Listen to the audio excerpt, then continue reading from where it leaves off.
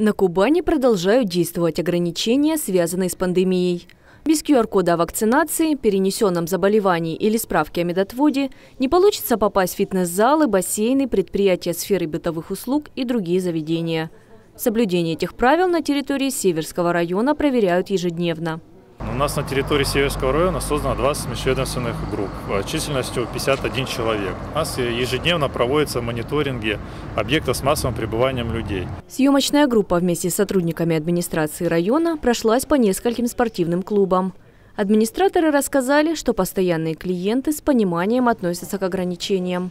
Персонал также соблюдает все санитарные правила и нормы в соответствии с окружающей обстановкой мы стараемся, чтобы люди продолжали тренироваться, создаем для этого все условия. То есть ежедневная обработка всех поверхностей, ежедневная уборка.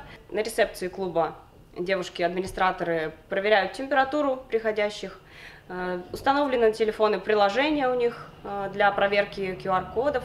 Напомним, что ограничения продлятся до 18 января. Они действуют на территории всего края.